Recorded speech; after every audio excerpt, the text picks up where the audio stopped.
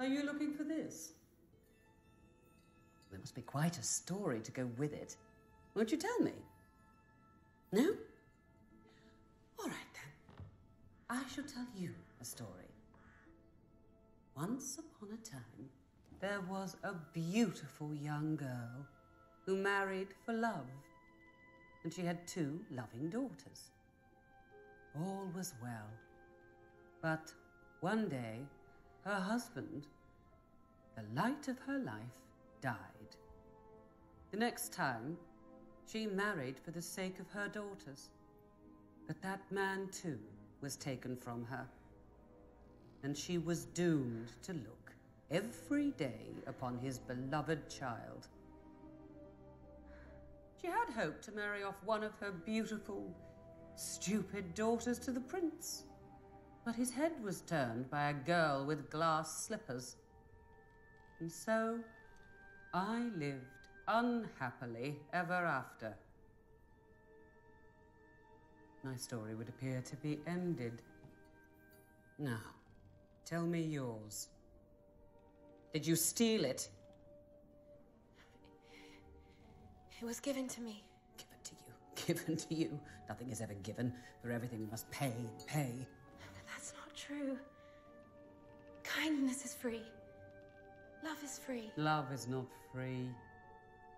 Now, here is how you will pay me if you were to have what you desire. No one will believe you, a dirty servant girl without a family, if you lay claim to the prince's heart. But with a respectable gentlewoman to put you forward, you will not be ignored. When you are married, you will make me the head of the royal household. Anastasia and Drizella we will pair off with wealthy lords, and I shall manage that boy. But he's not a boy. And who are you? How would you rule a kingdom? Best to leave it to me. That way we all get what we want. No. No. I was not able to protect my father from you, but I will protect the prince and the kingdom. No matter what becomes of me. Well, that is a mistake. No! Why? Why are you so cruel? I don't understand it. I've tried to be kind to you. You kind to me? Yes. And though no one deserves to be treated as you have treated me, why do you do it? Why? Why?